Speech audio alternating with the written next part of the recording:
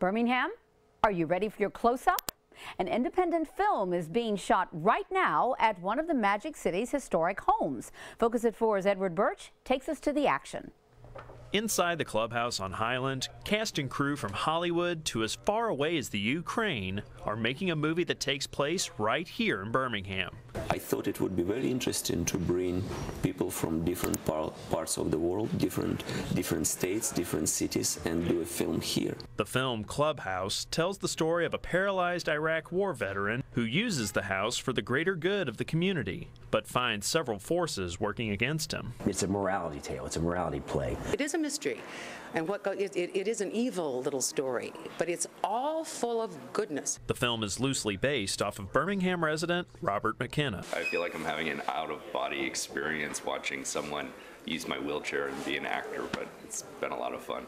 Production began last week. Cast and crew members find themselves working all hours of the day and night. It was uh, a lot of work and a great experience. What seeing what happens in the movie. It's just great pleasure working here and, and dealing with local people uh, making movies.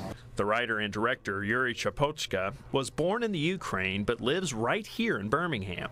He specifically wrote the script for the clubhouse on Highland.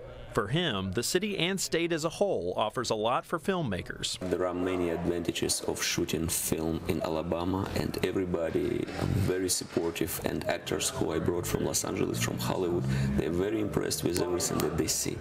Actors and crew members share that same sentiment. It's a wonderful place to make a film because you're surrounded by a kind of joy. I think it's special it's certainly special to Birmingham, and I've you know worked all over the world. Cast and crew that we got from Birmingham is just wonderful. It's nice to be in a town where you're working with folks that really care about filmmaking.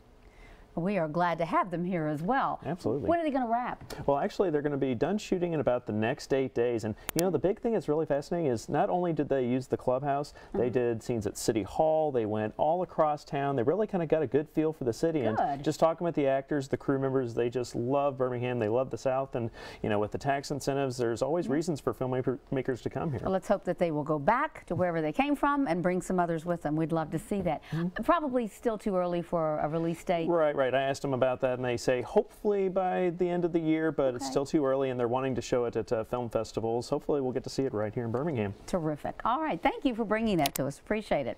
Many of you know why presidential candidate Rick Santorum left Florida so quickly over the weekend. His three-year-old daughter, Isabella, is still in the hospital. She does have pneumonia. The child